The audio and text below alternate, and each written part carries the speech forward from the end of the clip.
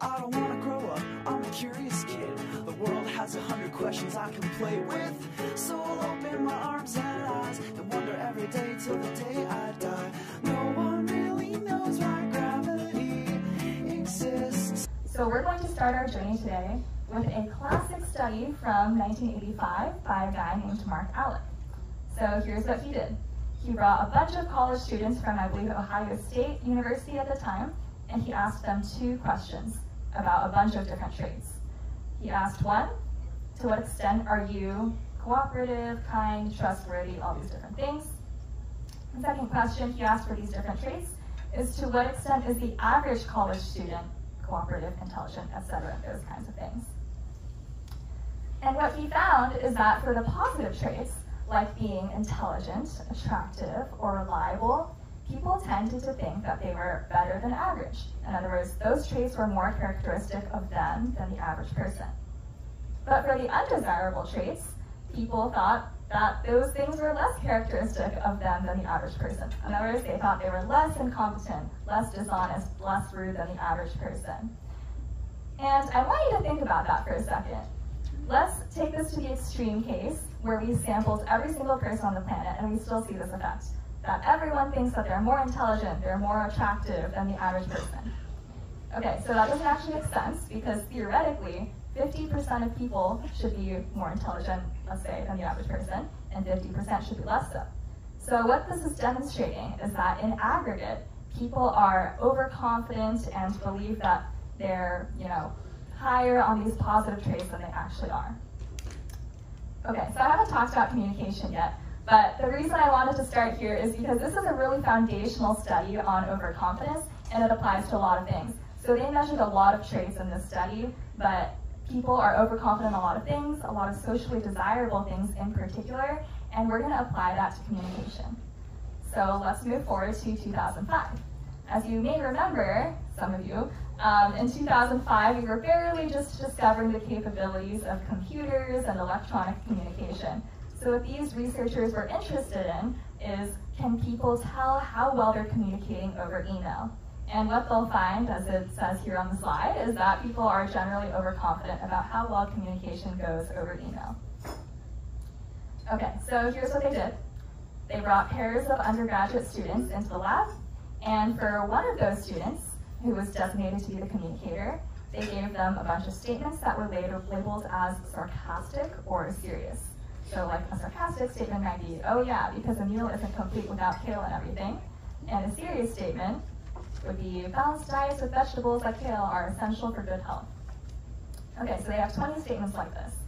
So the communicator was then instructed to select 10 out of 20 of these statements to show to the listener, to send to them via an email. And they were instructed to select the 10 that they thought would be the easiest to identify as being sarcastic or serious. And then they asked them, how many out of these 10 statements do you think your partner will identify correctly? So these communicators predicted that they'd be able to get 78% of those statements correct. You know, 8 out of 10 maybe identified correctly as sarcastic or serious. But in reality, their, uh, their partners were only able to get 56% of them correct. And if you think about it, there's actually only two options here, right? Sarcastic or serious. So at 56%, these listeners are actually barely performing better than chance. Okay, so what's going on here, right? Um, the title of this paper is actually called Egocentrism over Email. And egocentrism is the idea that you are egocentric about what you think and you project it onto other people. So for the communicators, they're thinking, oh, it's so obvious. This is obviously a sarcastic statement, as I just learned five seconds ago. So clearly my listener will understand that too. And they replicated that finding that I just told you about, overestimating the probability that their listener would understand their statement in a variety of contexts. So not just email or text, but also in voice-only context or face-to-face -face contact. And they found that the effect is a little bit weaker, but it's still there. And I think this idea of egocentrism is really what underlies a lot of miscommunication or problems in communication, or just difficulties, let's say, which is that when you're the speaker or when you're the communicator, what's in your mind is so crystal clear and you don't appreciate that it's not obvious to other people. So yes, that is the first study, egocentrism over email, but again, this I think is a, a broader idea that applies to a lot of things in communication. Okay, let's fast forward all the way to 2024. This paper is literally hot off the presses. It was published earlier this year, and it basically shows overconfidence in detecting listening. Specifically, that communicators are overly enthusiastic and positive about how often their listeners are listening to them. Okay, so I'm not sure. Maybe if I play this. All right, let's imagine that I gave this whole talk with this nice commercial or a series of commercials playing behind me. And I told you that the more commercials you could remember, the more I would pay you for your participation well, in the audience. I know that's enough of that. Anyways, that's exactly what these researchers did. They brought pairs of participants into the lab, one of whom was watching a series of commercials in the background the entire time, and one of whom who was, was just talking to them. So they were supposed to be having a conversation, um, a get to know you conversation to see whether they could be good roommates. Maybe. Okay, so there are three conditions for the listeners. So in the first condition, attentive listening, the listeners were just instructed to completely ignore the commercial, engage in the conversation normally, you know, get to know your partner, all that, listen well, just be a normal person basically. Okay, feigned listening. These people were instructed to uh, actually pay attention to the commercials, and remember, they're getting paid more the more they can pay attention to the commercials. But actually, like they still wanted them to pretend to their partner that they were listening. So you know, they're still trying to nod, like look engaged, all this, um, and the partner is just talking to them the whole time. Okay, then there's the completely distracted condition, where they tell them, again, you're gonna be paid more for how many commercials you remember, um, and don't even try to pretend that you're listening. Okay, so first of all, they ask these listeners, right, the ones who received this experimental manipulation, uh, how well do you think your partner is going to think that you are paying attention? Um, this is just on a 1 to 7 scale. So in the attentive listening condition, people are thinking, oh yeah, you know, I, am a good person. I'll be a 5.32 out of 7. The feigned listening conditions, remember these are people who are pretending that they're listening. They thought that they're going to do a pretty good job and be able to fool their partners into thinking they're listening. And the completely distracted people were like, oh, I'll, I'll be okay, but I think I'll be a little bit worse than these people who are actually listening. Okay, so what did the communicators think? I guess I spoiled it already, but um, they could not tell at all. Um, they basically thought across all of these conditions that their listeners were paying attention to them. Um, these, none of these bars are different from each other, and you'll notice that even, even in this very distracted condition, they're still thinking that their listeners are there paying attention to them, which is kind of crazy if you think about it. So not only could they not tell when their listeners were distracted but trying to pay attention, they couldn't even tell when their listeners were completely distracted and not thinking at all. So that's pretty unfortunate for speakers, especially those giving presentations. Exactly. and in case you're wondering, this manipulation did actually work. So it wasn't that you know they gave the instructions and the listeners were like, oh, I'm going to be a good person and then pay attention anyways. No, like they were actually you know remembering much more commercials when they were trying to remember the commercials. Okay, so what does this tell us? It tells us that communicators are overly optimistic about how often their listeners are paying attention to them. Even when, you know, it's very natural for someone to be talking to you, your mind wanders, you're thinking. Test. Okay, okay. Your mind wanders, you're thinking about other things. That's very natural, it happens all the time. Um, but the, the communicators don't seem to recognize this. And they actually did another version of this experiment where they had people just watch the videos of the listeners listening. And they were like, okay, this person was either paying attention, not paying attention, or trying to pay attention. And those observers couldn't tell the difference either. So it's not just that the speakers were distracted and in their own head. It's just that it's, it's very hard to pick up on when someone is listening to you. And regardless of the condition of the listener, the speakers were basically 80% of the time thinking that, or sorry, the observers were thinking 80% of the time that the listeners were in the attentive listening condition. So basically they were just, you know, happy to default to assuming that the communication was going well, when in reality they were just watching commercials. So that's all very unfortunate, but that's okay because now we know. All right, um, the fourth and final study I'm going to tell you about is one that I actually ran with my other research advisor, Juliana Schroeder, and I ran this at UC Berkeley last year. Um, and I think the contribution of our study is to focus a little bit more on the listener perspective, because so far we've been talking a little bit about you know, communicators thinking it's going better than it actually is. So what we did is, of course, we brought pairs of participants into the lab because we always need pairs for communication. So we had one of them designated as the communicator and one designated as the listener. So we had the communicator watch a video, a 10-minute YouTube video on motivation, so they could learn how to motivate themselves and others at work. Afterwards, the listener came into the lab, and the communicator was instructed to explain what they had just learned to the listener. And after the conversation, both of them tried to predict how well the other person understood the video, um, as well as how well the communicator thought they were articulating their point, or speaking, basically. And then afterwards, they took a test, kind of testing their knowledge of the video, the original video that the communicator had watched, and they were both paid just a little bit more money depending on how many questions the listener got correct. And they knew that before the conversation, so you know we want them to do a good job communicating, as best a job as they possibly can. Okay, so in general we find that the listeners also think things are going better than they actually are. So first of all, uh, this is the articulation measure. So basically this is how well does the communicator think they are articulating their point. So these numbers are a little hard to see, but basically um, the listeners think that the communicator is articulating out of 5.5 out of 7, and that's a lot better than the communicators themselves report speaking. So in other words, it's really obvious to the speaker, you know, the mistakes they're making, things that they left out and maybe didn't articulate as well, but the listener kind of just assumes that things are going pretty well. Okay, and then these bars on the right are some understanding measures. So this middle set of bars is their test scores. They actually generally did pretty well. Um, these are UC Berkeley students, so you know they know their stuff. But remember, a perfect score is 10 here. So in reality, the communicators got about 8 out of 10 questions correct. But the listeners thought they were like pretty much perfect. They were like, oh, my communicator was so good. They probably got 9.3 out of 10 questions correct. Um, and we see a similar pattern on the self-reported understanding measure. So again, that's communicators just kind of subjectively saying, I feel like I understood that pretty well. Um, but the listeners think that they think that they understood very, very well. All right, so all together, this is basically telling us that from the listener's perspective, they're assuming that things are going really well, especially when they're just thinking about the communicator. They think the communicator knows more than they do, and that they're articulating as well as they possibly could have. Okay, so we went through a couple decades of psychology research today, so I'm just gonna try to sum it up right here.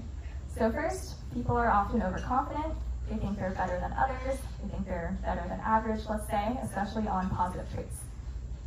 We can apply this to, to communication.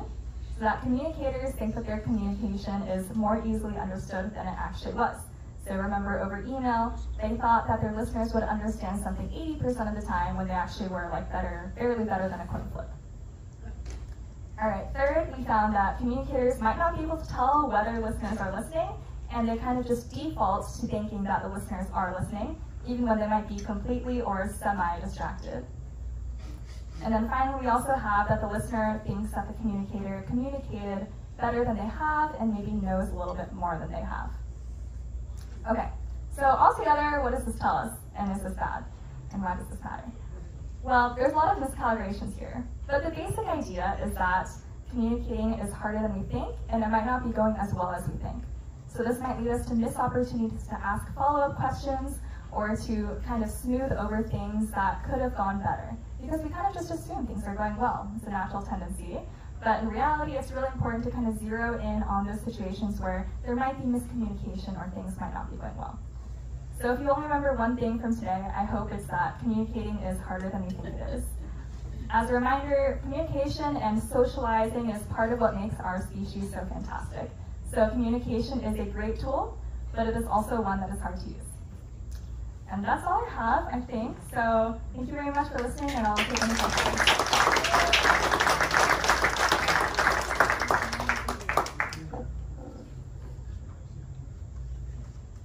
thing that's a little troubling is it seems so Western centric. Mm-hmm.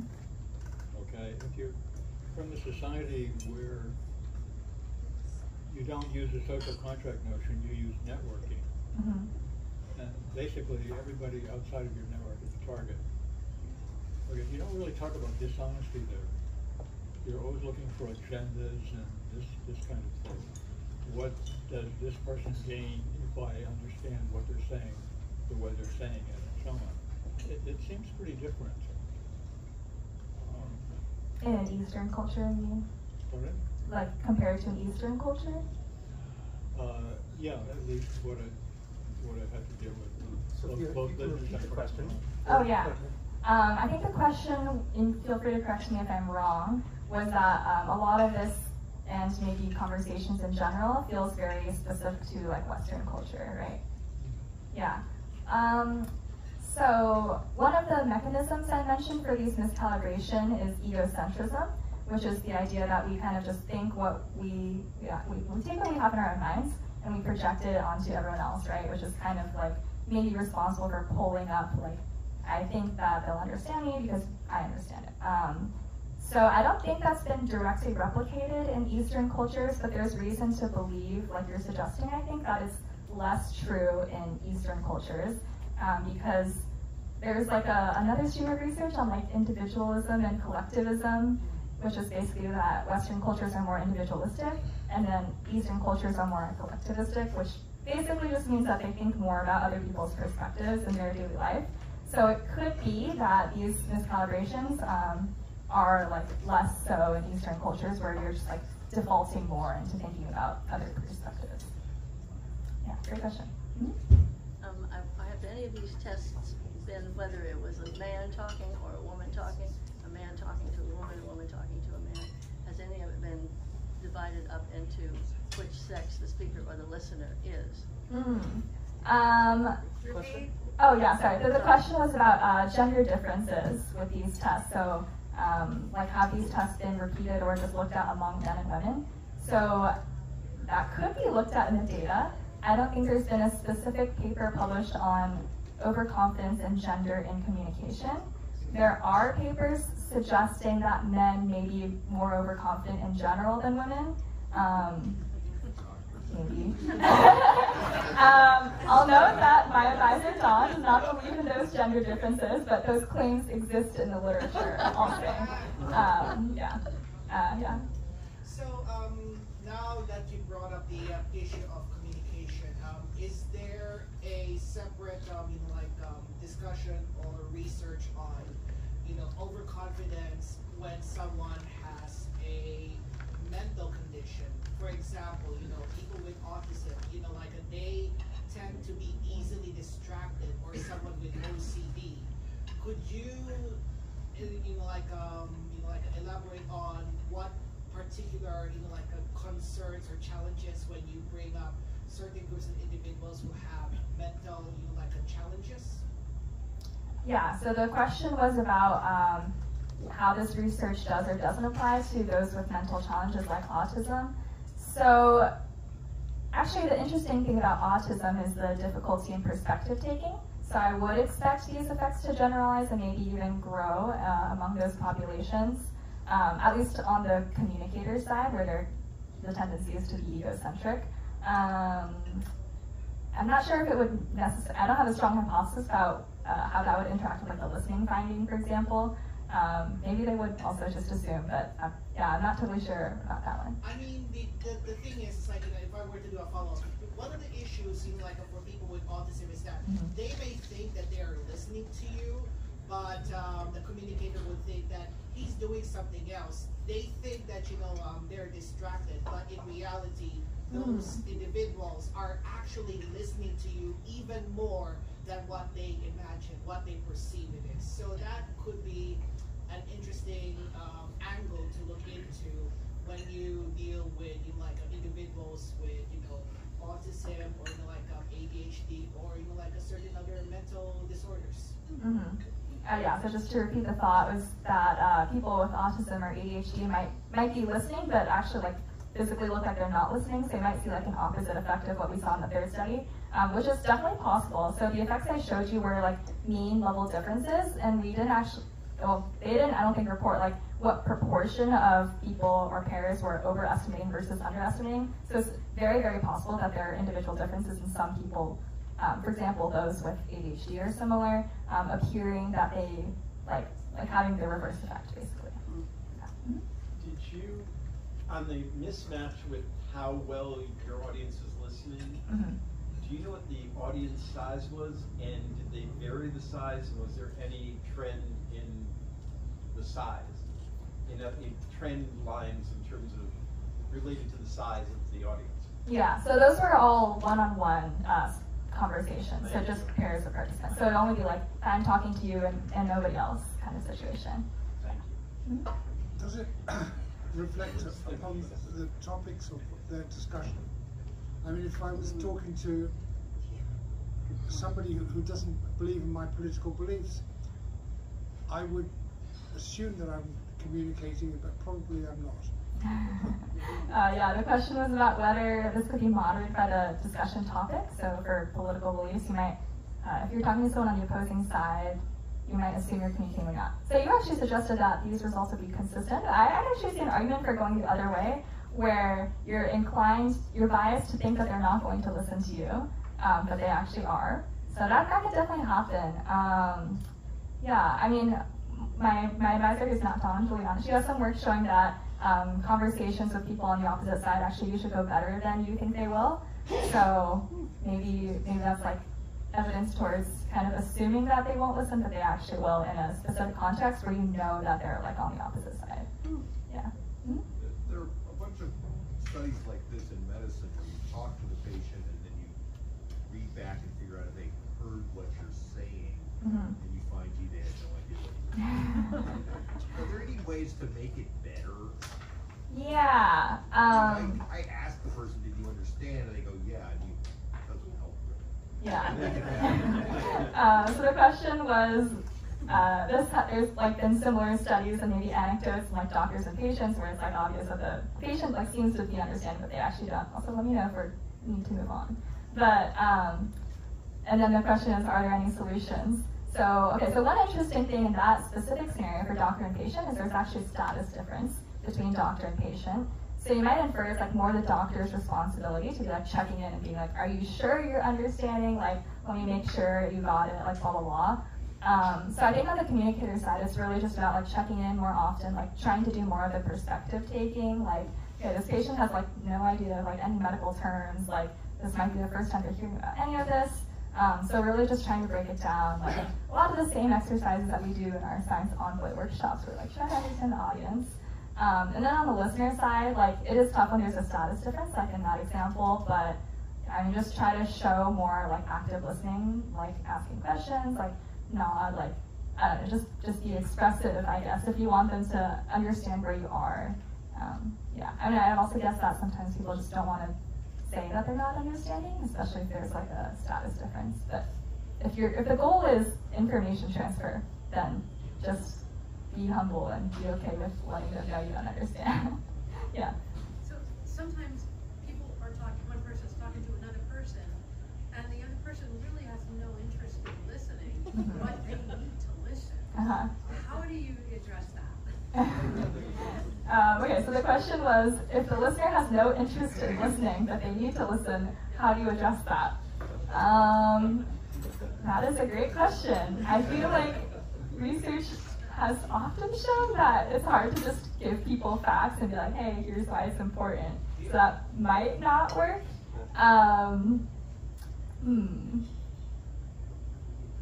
That'd be super helpful. yeah, if, if, if we just knew how to convince people to listen to us, like everything would be so easy. Um, Give them a massive test at the end of the year. yeah, give them a This test. will be on the final exam. yeah, well, in, uh, in experiments, you could just give them an incentivized test where you give them a bonus for performing well, and that solves the problem. Um, I, yeah, I mean, in real life, like, I think you just have to do your best with being like, this is why this is important for you, and then it's also good to say, like, this is why it's important for you specifically, like, compared to other people. Um, there's also a lot of research on, like, social norms and social pressure. So if you're trying to convince people, like, oh, like, it's important for you to understand why turning off your shower to save water is good. You can be like, and your neighbors are like really good about turning off their water and saving water. So you're like the worst neighbor on the block. Um, there's actually an experiment exactly like that. They would send letters to everyone on the street and they're like, you're in like the top, bottom, or middle of, of water usage or something. And that's supposed to help. Yeah. Mhm. Last question? Last question. Yeah. Uh, does the research in your field typically just involve a dyad face to face? I'm wondering, uh, the reason I ask is I'm thinking about the biases of the communication medium. Mhm. Like text, for example, is very Mhm. different from speech. Yeah. right? You don't have tone of voice and people project and, you know, imagine things when somebody's texting them, you know, thinking they're in this certain emotional s- place when they're not. Mhm. Things like that. Yeah, so the question was about uh, how this generalizes different media communication. Um, so the first study I talked about, the one with the like sarcastic, serious comments, they actually did that in uh, like all, well not all, but like some different combinations. So There's the text only, which is the one I mostly talked about. They also did it with like a voice only, so I think they brought people into the lab and like put up a divider between them. And then there's like a normal conversation condition. So they got the same uh, directional effect that people like think that they'll understand better than they do, but it was like weaker in the other cases. So like the face-to-face communication, like you're saying, um, there's like obviously a lot more cues, right? Like you have the visuals, you have the auditory, like the the, the pitch of the voice and stuff. Um, so you, you can get more information, which like helps some of the miscalibrations. Um, but also some research has shown that for like conflict conversations, like on political topics, people like go towards the, the less rich media, like texting, but those conversations are actually worse. So that's something fun too. All right, thank you guys so much. I'm happy to chat after as well.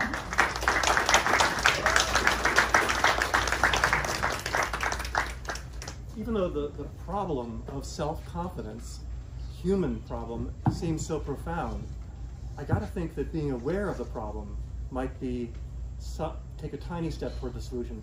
I'm not overconfident of that fact, but I gotta think there's hope. All right, our next speaker is Josh Tong. He's a researcher and PhD candidate in the physics department at Stanford. His current research involves dark matter.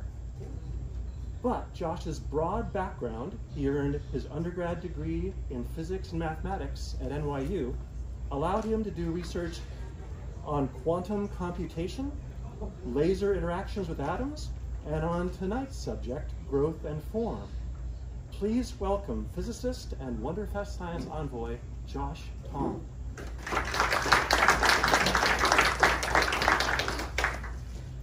Hello, everyone. Thanks, everyone, for coming tonight and supporting Wonderfest.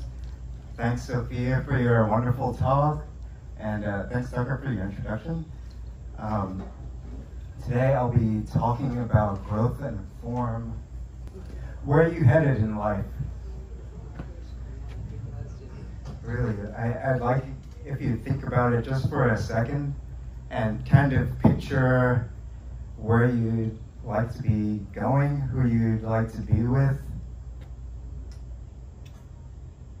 Do you picture traveling, a successful career?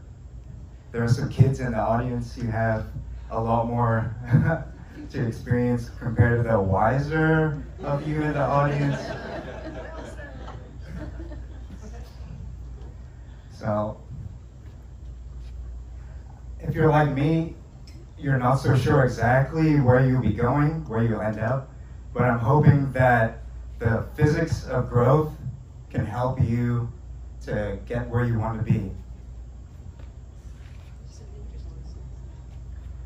So, how do you grow? First of all, you have to look in the mirror, measure yourself up, which can be kind of difficult and daunting, but okay, um, first I'll figure out, uh, maybe I'll measure how tall I am. So I take a measuring tape and uh, make a mark on the wall and measure me up. Uh, I'm not that tall, so maybe I don't like that measurement very much. Uh, okay, uh, I'll uh, come up with a different kind of measurement, not something physical, maybe like measure a hundred things that you can memorize and you write down a hundred words on a card, a hundred words on a hundred cards. You come up with a test to measure how good you are at memorizing a hundred things. And you work at this every day. You use your flashcards you use sticky notes, you try your absolute best, and the test comes, and wow, what do you know? You just forget everything. you get, you, you just can't remember a thing. Uh, so I, I, guess we think of some more creative things to measure about ourselves that maybe we, we can stand out. Um, you imagine thinking of a thousand things you can measure, an uncountable amount of things you can measure about yourself, and imagine that that thing you measure is an arrow pointing out from a point. And then the distance that arrow reaches out is like how good you are at that measurement. And then you stick all of those arrows together, you get a shape. This bean looking thing, that's, that's me. So that's how good I am, where it juts out, and uh, kind of caved where I have some growing to do. So, um, what's the what's the use of, of like looking at yourself as a as a two dimensional shape on a, on a screen? So I think that when you draw yourself like this, you look at yourself from this perspective, you can look at other shapes and wonder what kind of shapes can you grow into from where you are now. So uh, the needle, for example, could be represented uh, like a scientist, someone that's super specialized, is good at one thing, but not very broad. The heart is like someone that's really caring, that's a caretaker, and really loving. The sphere is someone that's well-rounded, really jack of all trades. The star is like a superstar, a performer, a musician, an artist, and uh, Moneybag, they, they, they have a large bank account. okay, so what you want to do is, okay, which of these shapes are you interested in growing into? How you grow is actually continuum mechanics. So this shape, the way you get from one shape to another is a process of growth that goes through one shape being deformed under stress and load and pressures, and that shape deforms into another one. And exactly the sum of all those pressures put together changes one shape, which is us in this in this metaphor, into our other shape, which is our goal, the place we're trying to get to, so that we can get to where we want to be. And here the axes that we're drawn are like our measurements that we've set up to measure our shape. And then this whole trajectory, this path line, is the work we've done, the work we've put in, all the effort we, we did to get to where we want to be. Something I want to point out here now is that you're not growing in an isolated environment. Okay? The environment that you grow in that's crucial. So I don't know if we can see this very well. This is a table that's the number of doctorate recipients detailed by doctorate, citizenship, ethnicity, and race in 2022.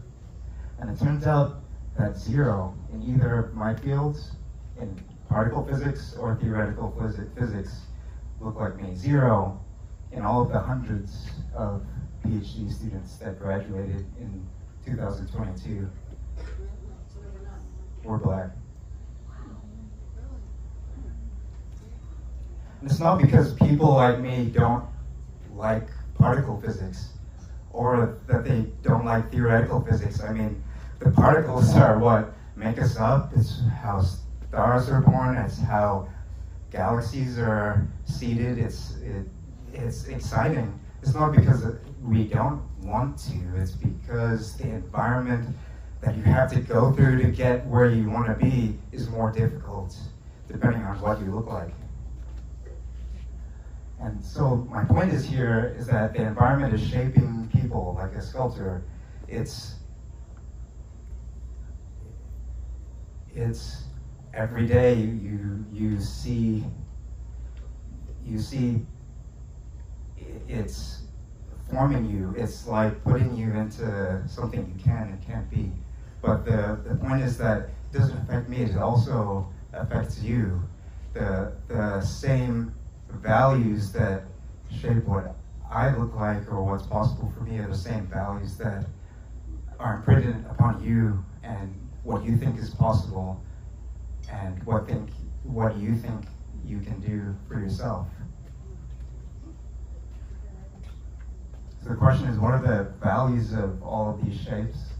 The, the scientist and the, the caretaker and the, the all-rounder and the star and the business person. Um, this part of the growth process is where you take in your environment, you see the bigger picture, you, you, you want to take in what you value, and at the same time recognize what the environment around you, what other people, what your surroundings value, and take it in. What, what do you want? What can you keep? And recognize what you don't value, what people, what the environment doesn't, and you can choose to leave that behind.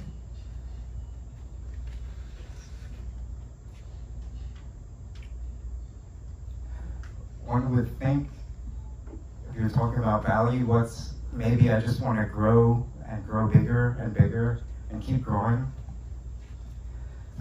From the perspective of the elephant, uh, what does it care about the mightiest ant that gets in its way?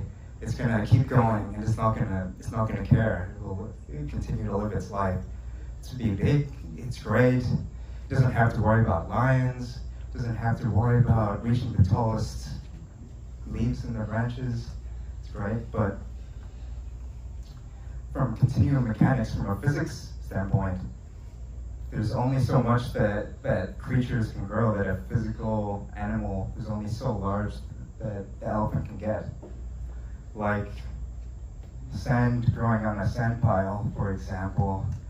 You keep growing, or like, like snow on a mountain, the snow keeps coming, and the snow keeps coming and building up. Eventually, there has to be an avalanche where there's a critical point where there's only so large you can grow. On the flip side, let's look at it from the ants' perspective. The ants, in their in their small world, don't they, they don't care about what the elephant's doing. they, they they're they're fast, they're nimble, they're quick, uh, and the elephant is in a different dimension compared to them. They, they don't even recognize that the elephant is there.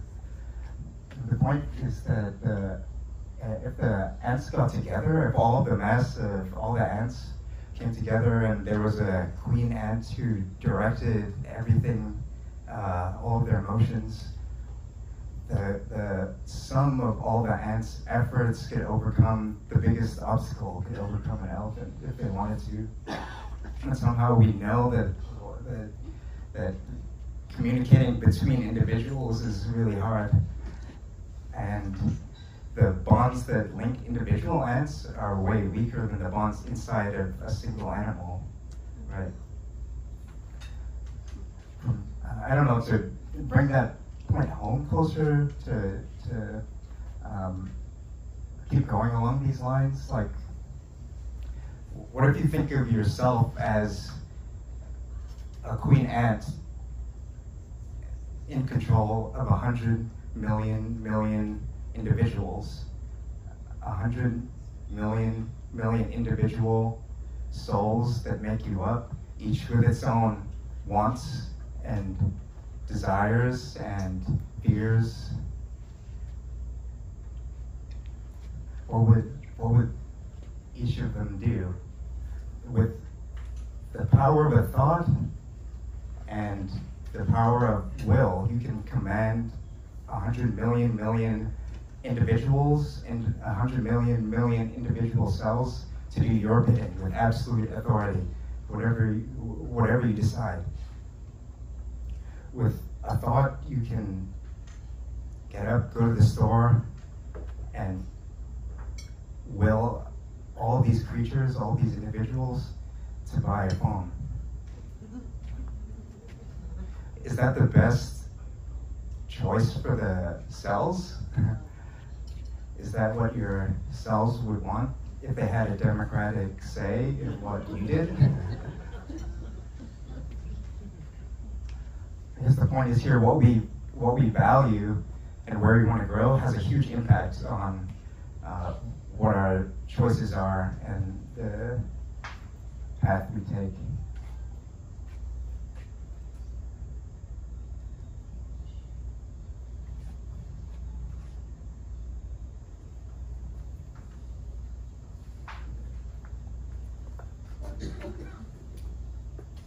To surmise, I hope the physics of growth and thinking from the perspective of a cell or a material and how it changes shape, how, how it deforms, how your shape compares to others. I hope this can help you to get you to where you want to go. And the four steps that I went over today, if you remember these, hopefully you can employ that for your own. Is first you need to measure yourself up, decide what you're good at, what your personality is like, what um, you'd like to grow into, and you have to compare yourself to the other shapes that are around you, compare yourself to other people. And then after that comparison, you have a value to see what's their values and what's my values of where I want to go, and then also in recognizing that these values were shaped in an environment and in a context and in, in a history where the, the values aren't abstract, but they're tangible. I think these tools will help you to make a accurate and tangible decision for what direction you want to grow in and where you'd like to go. Thank you.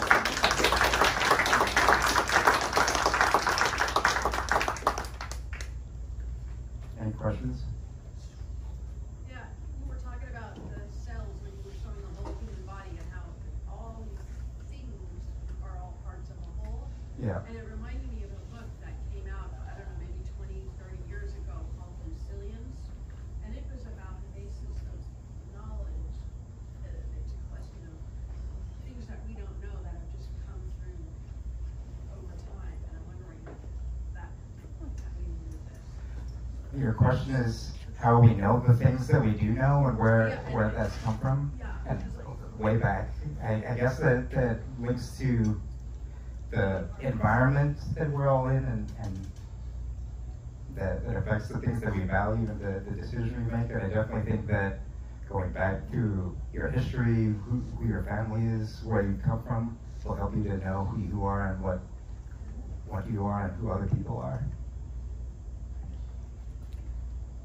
Yeah.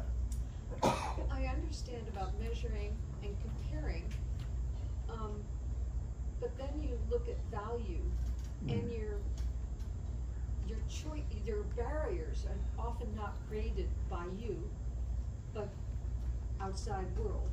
Mhm. So how do you fit yourself into uh, a set of values if you don't exactly know what they are? Like So, for graduate school, Mm. obviously, you found uh, a val, you understood your own value and you matched it with the university Mhm. that accepted your values and accepted you. So there was growth. But how, how would you do that if you did not know the values of the group that you want to join in the university or the society? Um, so the question is, uh, you don't know the values of, of the the person you're talking to, of, of the of the uh, of the environment that, that, that you're in, and then how do you find out? Right. I, I So you can direct your values Right. elsewhere if you need to. I believe it would be through communication so that you understand where people are coming from, where, uh, you know, us connecting will mean I, I would know where you're coming from, you know where I'm coming from. You get a, you get a sense from people from different places, um, values that they've been living in, so you know. So you it- might bomb out one place, but they may direct you to another place that would be more acceptable to, to accepting your values. Mhm. And the question is, uh, would you choose a place, experiment? Right. Uh, I- Yeah, so I think the, my answer to if you would experiment, yes, but I, uh, I think you can, you can always find your way wherever you are to find your way to, to find the value of, of where you can fit into, the- in, into the, where you are now. And it doesn't mean you have to go somewhere else. Yeah. Yeah. With your physics and math background, do you try to ex- quantify this with equations or other models? Yeah, so for growth, there's uh, continuum mechanics where what inspired the, the personal the, the personal part of the story for me. So the, I guess the the models is is um, how a material like a cell or or like rubber how it stresses and changes as it deforms as you apply stress to it. Those are the fundamental principles, but I'm applying those to, uh, in a loose sense, to personal growth. Does that answer? Sorry, the question was, was there, was there a You physics or model- math? You background? model these, this behavior Yeah. with equations of some kind. Yeah. I feel like you talked about this as mostly like intentional growth, but then you just talked about rubber. So how does this, uh, does this like, does the rubber do these things? So or is the this- rubber's in an environment where you're doing something to it, and in a similar way, you're in an environment where you're under pressures and stresses, and you're deforming and changing, and in that, that's that's connected to how, in principle, a, a material changes when you apply forces on it. Yeah. Um, so, uh, I, this seems to be like a, an, an analogy for what are, uh, like sort of a conscious analogy for what, I'm not gonna get into consciousness here, but what would seem to be generally be accepted to be unconscious processes Mhm. uh, in the natural world. Um, so I guess uh, the thing I wanted to ask about was this process of deformation. Mhm. Are you in a way saying that, that growth is a type of deformation? That's the analogy that I'm, that I'm trying. So the question was if I'm saying that the growth is a kind of deformation, and that's the analogy that I'm making with the the physics of continuum mechanics or changes. Someone said it's it's uh, external forces that are impinging on you that that change you, that change your shape. That, I like the deforming idea, Yeah. it, it keeps us humble like we need to be. Shoot. We had a Right, question? so- Yeah, so I have the question regarding, um, you know, like, um, you know, that, that final slide, measure, compare, evaluate, grow. Mm. The question that I have been thinking is, okay, you have gone through this cycle of measuring yourself, comparing, valuing, growing. However, in life, sometimes things can happen. Unpredictable things can happen. How would you, you know, put yourself in that, you know, like, um, shoes of, okay, this something just happened. How would you like, okay, process through all of that and then, you know, go through the cycle of measuring, comparing, valuing, and growing in terms of unpredictable events? Because anything can happen at any time, and you never know when. Um, so the question is, when unpredictable things happen, uh, what what can you do then? Um, uh, I don't know. They, they, they do happen. and You accept that, and that's the, the kind of that is what it is in my in my opinion. You you uh, you can't see everything. You can't see everything coming. So you you I guess it, in my experience, you you go with it, and that's the best you can do sometimes. You still use this approach. Yeah. Yeah. Oh, sorry. your, uh, your conclusion reiterated, and I'm glad, I'm glad, the, the four steps on the right, measure, compare, value, and growth. This final slide is certainly complex. Do you use it, or have other people used it to try to bring growth into a mathematical framework? Yeah, precise, yeah, exactly. Uh, this um, slide is taken from a group that uses a mathematical framework and a simulation to replicate cell growth and, and tissue growth and to model how leaves grow and recreate their growth patterns and, and model things like that. So they, they go through certain steps to recreate and, and, re and model the growth of leaves and the, the growth of tissues and things like that. And there, there, are, there are steps involved, like they divide the cell up numerically so that they can compute it in, efficiently. They grow individual bits. That's the, the, that's the separation here. They grow individual bits and stick them together. And then after they're glued together, they let it relax and, and undergo deformation. And then after that happens, you, the shape deforms into a stress-free configuration. All right, thank you. Yeah. Yeah. Are you aware of this being applied practically, like maybe say with medical science?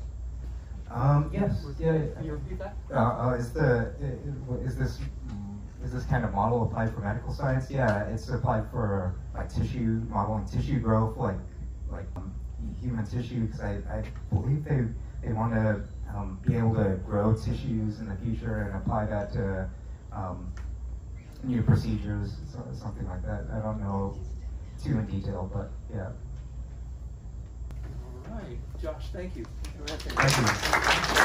Please join me for a final round of applause for our two speakers, Sophia Li and Josh Brown.